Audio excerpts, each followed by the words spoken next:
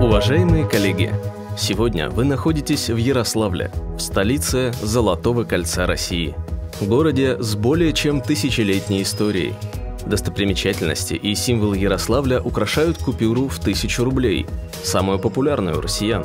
Но за последний год ее позиции потеснили выпущенные Банком России новые банкноты с номиналом 200 и 2000 рублей.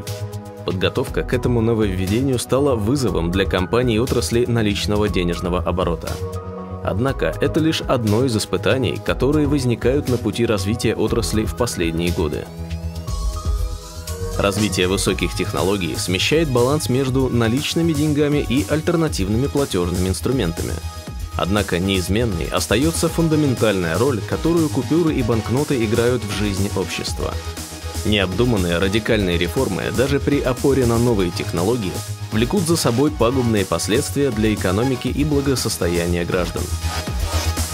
В то же время компетентное использование прогрессивных разработок позволяет в разы повысить эффективность доставки и обработки наличных денежных средств, делает перевозку ценностей безопасной для исполнителей. Обмен опытом и демонстрация современных технологий на специализированной конференции – действенный формат для совместной работы ведущих российских и зарубежных экспертов.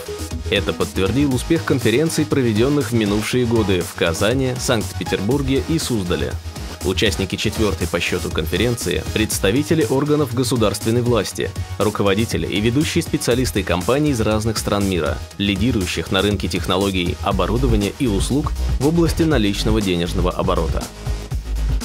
Активное сотрудничество на международном уровне – это ключ для преодоления вызовов и препятствий, Решение фундаментальных вопросов, вынесенных на повестку данной конференции, сделает сферу обработки и транспортировки наличных средств и ценностей более высокотехнологичной, а значит более эффективной, быстрой и безопасной.